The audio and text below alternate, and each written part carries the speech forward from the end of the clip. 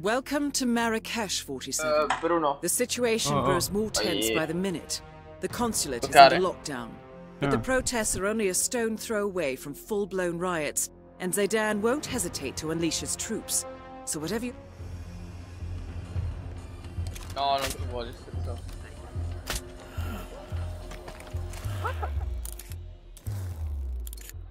Cosa?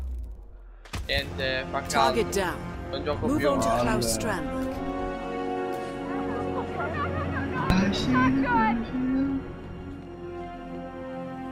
Snail, snail soup.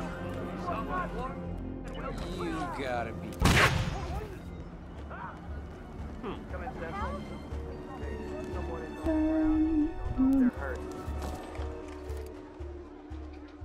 Both targets down. Now head towards an exit.